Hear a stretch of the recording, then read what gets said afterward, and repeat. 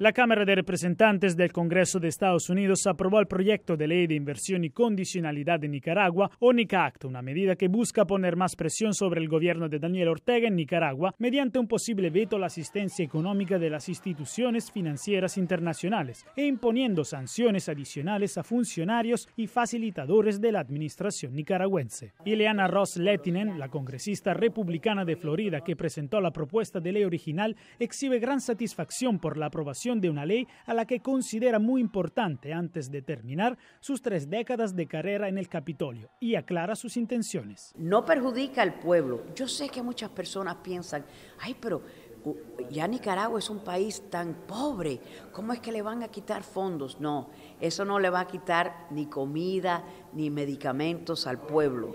El que le niega medicamentos y comida es Daniel Ortega.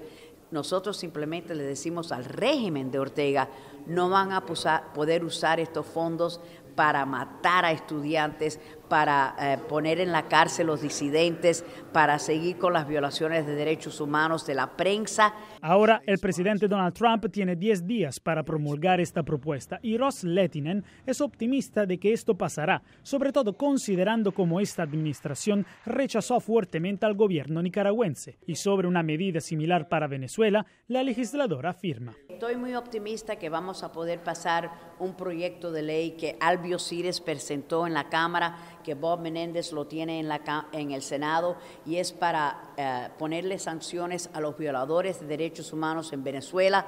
Ya hemos pasado muchas medidas gracias al proyecto que yo pasé y Marco Rubio pasó en años anteriores para sancionar estos delincuentes en Venezuela y vamos a seguir con esto. La legisladora subrayó la necesidad de castigar los crímenes contra los nicaragüenses y los venezolanos y cree que con el trabajo ya hecho los nuevos legisladores tienen un conocimiento más amplio sobre las cuestiones que ocurren en América Latina y podrán hacer más.